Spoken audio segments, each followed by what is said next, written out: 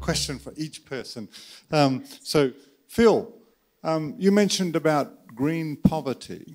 Um, now, for farmers in uh, in uh, Indiana, it's an issue. You know, if productivity growth pushes down prices um, because they, you know, you can represent those farmers just with the function. They produce, they sell. Um, but small farmers in developing, many of them are close to self-sufficient in the foods they produce and sell. Um, if prices go down, they're much less likely uh, to be hurt. They may even uh, be advantaged, the net food buyers. So I, in some simulation work that I've been doing, I found that really the poverty impacts are frequently not very sensitive to whether food prices rise or fall or don't fall in response. Um, uh, so just that's a question. Uh, is that green poverty? I, have not seen it well documented. You know, Cochrane's treadmill, but that's that's in rich countries. Um, Usman, um, the productivity differences between different sectors to, to really come to grips with those, I, I, I feel we need to understand why those productivity differences persist. You know, it used to be the sort of the, the sunk costs uh, model, asset fixity and so on in the rich countries, but what, what's driving it in Africa? Um, and Per, um, your case studies, there, there, must be some really interesting examples there. What I've noticed in some African countries is it's as though policymakers haven't yet read Amartya Sen's work and they're focusing on availability. They then do the things that you, for which you criticised them. They, they put on quantitative restrictions, but they don't tell the, uh, the private sector that they're going to put them on or take them off. Um, great uncertainty and increased volatility, as Thom Jayne has documented in a number of papers. And, and Jane, um, uh, should it be a priority to replace imports? Shouldn't we just be looking for where the big impact uh, is. You know, if we have efficient e economies, you know, it's not important whether it's imported or not. What's important is whether it's, it's efficient for, for its outcome. Innocent Matshe, uh, African Economic Research Consortium, Director of Training. So um, I, I would have liked to hear, I mean, this is to any one of you, uh, something to do with policy harmonization or policy coordination. Uh, I, I, didn't hear that coming up. Um, I just want to give you a quick example. So we, we um, at the AERC uh, with the WFP uh, did something uh, uh, to, um, that was to me very strange uh, in terms of outcome. We, you know, basically the WFP, the World Food Program, was buying uh, grains from smallholder farmers um, and assuring them basically of a market of quality produce. And what we noticed is that usually uh, the, the, um, the, small farm, the smallholder farmers would, uh, you would expect they will side sell because, the, you know, they will look for the best. But, but basically, just because there was a guaranteed market, you know, side, side selling was very low and, you know, the quality of the product went up. But that's only because there were, you know, ancillary policies eh, that were um, basically uh, uh, coming together to, um, to you know, encourage the smallholder farmers to uh, market through, uh, uh, through, through the channel that was being provided. So, you know, I would like to hear a comment on, uh, on policy coordination or, or um, alignment. The question was your, your green poverty question, the risk of food prices going down and making producers poor. I understand that, you know, Cochrane's treadmill uh, in rich countries where, where producers produce and sell everything. But in poor countries, many poor farmers are close to self-sufficient. Many, in fact, are net buyers. Um, and in some simulation work I've done the poverty impacts of productivity growth seem to be quite insensitive to whether food prices uh, stay constant in a small economy case or whether they go, they go down um, because of this uh, hedging associated with the uh, net food, uh, you know, the, the, the, own consumption of the, of the household. So I'm just wondering that green poverty concept, is that documented uh, somewhere, real cases of that occurring, or, or, or is that more a conceptual concept? Okay, um, so it's a real phenomenon in poor countries, and, and I would cite two examples I'm very familiar with. One of the one of the people I was a colleague with at Purdue was Gebisa Ejeta, who won the World Food Prize, and, and one of his substantial contributions was improving yields of sorghum, particularly in the Sudan. Um, and he had discovered hybrid sorghum and introduced it in Sudan. And there was a period when that happened when production increased enormously over a very short period of time. Prices collapsed. The Sudanese uh, government tried to export surpluses to Saudi Arabia, but because of the price collapse, Per Pinstrup Andersen's price response mechanism worked, and farmers no longer bought uh, the hybrid sorghum. And, and that was a lesson he learned, and it was clearly a problem uh, for that intervention. We've got another colleague, John Sanders, who works on improving production on the farm.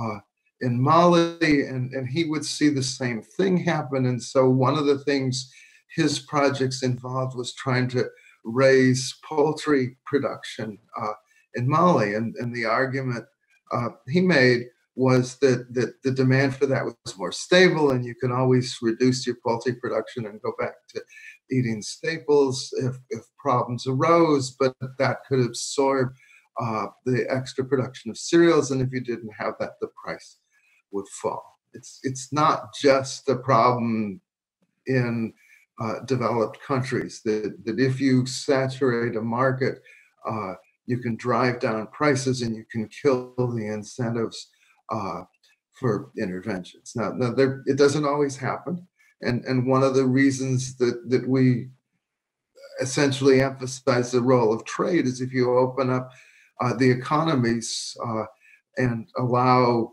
uh, trade to uh, either get rid of surpluses or, or fill shortages, it's less likely uh, to happen.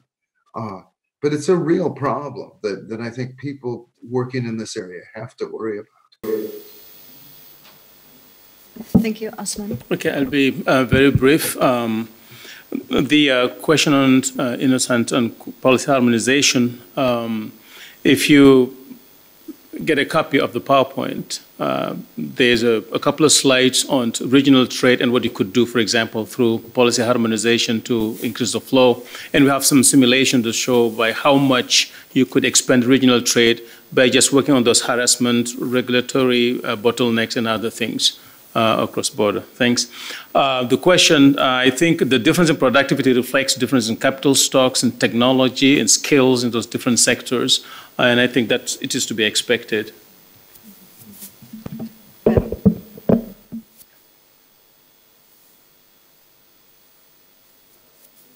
Oh, the bottom one. There you go. All right. Thank you very much. Um, well, I don't know if, if policymakers have read Amartya Sen, but if they haven't, they should. Uh, but, but of course, that doesn't really help much if I'm a policymaker confronted with a whole set of other demands and a whole set of constraints and unless we can find win wins, and one of my win wins, uh, which is uh, totally unacceptable and unethical and everything else, is to build into every transfer program and every program benefiting uh, low income people an element of corruption. Where nutritionists call it leakage. Uh, take, for example, the public distribution, uh, grain distribution in India, where about half of the grain go to the intended beneficiaries, and the other half uh, goes uh, who knows where. Um, I think we can probably call that uh, corruption or something like that. But the program actually works. Now, do we have to give up half of the benefits? Uh, I hope not. Um, there was a program in Colombia when I worked there that was perfectly targeted to low income rural households and it was to improve nutrition and reduce poverty, and it was perfectly targeted. There was virtually no leakage of any kind to anybody who, who didn't deserve to have it. And the new government came in and, of course, canceled the program. Why? Because there was no political support for it. Why should we, why should we give money to a group of people that has absolutely no political power whatsoever. And by the way, we don't know any of them anyway, so they're not going to do us any harm. Uh, I'm being a little facetious, but that was a real project. That, that wasn't. Um, the other question, of course, is time horizon. And um, while Amartya Sen is absolutely right on in a long term perspective, uh, I'm only uh, elected or appointed or have appointed myself for a couple of years. And uh, I'm, you know, I'm sorry, I'm going to give fertilizer subsidies because they work next year. I'm not going to invest in uh, improved health for preschool children because by the time they grow up, uh, I'm nowhere else. So the, the whole set of political economy issues, and I can't go into to any more because then the chair is going to come after me. Uh, the only other thing I want to say on the um, policy coordination, in addition to what uh, my colleague said, to Osman said, uh, is that when, when push comes to shove, uh, the national government is going to look after the national population or the groups within that are important for the national government. And I'm sorry if the neighboring government, the neighboring country is going to suffer. Uh, I can't really help that. It's no different among individuals, by the way. Yes, uh, thanks for the question. Um, obviously, I'm not anti-import. Uh, imports are needed in many situations. But in the question of wheat, for me, is it the best use of $9.3 billion of foreign exchange for a dietary pattern that may not be in the best interest of the nation? And even if we move a third of that to uh, in importing instead good irrigation equipment, uh, processing equipment, machinery appropriate for the region that improves the productivity of sub-Saharan African farmers and those products are incorporated into these products. Is that not a win-win? Uh, I'd rather, you know, most wheat in Africa, a lot of it comes from Russia. It's nice for Africans to be supporting Russian wheat farmers, but I would like to see more emphasis supporting African farmers there's something quite interesting about the import stuff. Uh, and most of the number actually that's being cited, the $45 billion, came from work we did uh, uh, a couple of years ago. Um, you look at imports, they've exploded. They've grown sevenfold when we did the research, but now four and a half times. But at the same time, African exports have grown three times. Okay? So uh, we're not in a situation where we have an import boom because agriculture is underperforming. We have an import boom because of urbanization, rising middle class, income, and population growth, right? If you take those together, they can push demand at a double digit rate. Agriculture as a biological process cannot grow that fast. So I'm afraid we're going to have that gap for a while. However, what it does is two things. We are now capable of feeding people because we can buy more.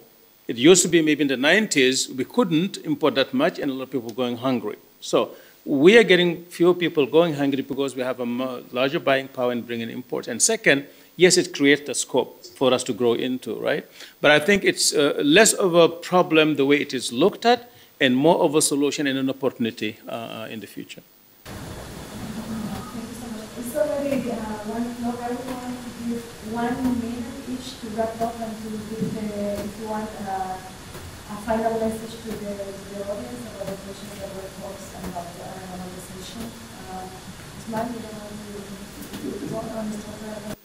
uh, if I were probably it's just the emphasis on the new value chains structures it's no longer that village level stuff is really going all the way to Washington DC. I can buy those products by the way in Washington DC.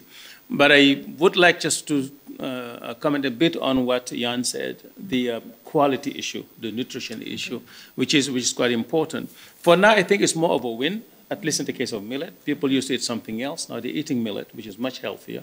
And yes, we're going to get them to do iron fortified millet. But the quality issues, food safety, issues are going to be emerging. And you're right, we need to focus on that a little bit more. But for now, it's getting a healthy food staple on people's tables in the urban areas, which wasn't the case 20 years ago. Thank you